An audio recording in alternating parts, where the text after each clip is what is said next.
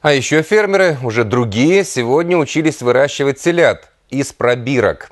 За рубежом такое не диковинка. Вот и смотрели, как иностранцы овладели техникой экстракорпорального оплодотворения животных. Посвятили этому международный форум. Процесс деликатный, щепетильный, недешевый, но цель оправдывает любые вложения. У коров все как у людей. Анализы, исследования УЗИ. Британские ученые поделились с татарстанскими коллегами. Можно сделать так, чтобы у всех буренок на фермах рождались только самые здоровые, высокоплеменные телята. На международном форуме в Академии рассказали о методе экстракорпорального оплодотворения при разведении крупнорогатого скота.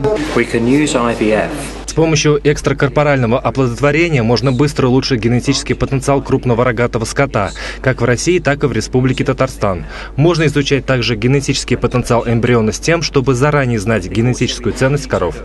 Этот метод давно используют в Англии, Северной и Южной Америке. Зарубежные фермеры уверяют, разводить стада таким способом очень выгодно. Не надо покупать за сотни тысяч рублей заграничных коров для воспроизводства. Оплодотворенные яйцеклетки от одной коровы с родословно можно подсаживать и беспородным буренкам. Если мы от одной коровы в нормальных условиях можем год получить одного теленка, а этим методом от высокопродуктивных коров можно в год получить десятки высокопродуктивных в будущем, значит, телят.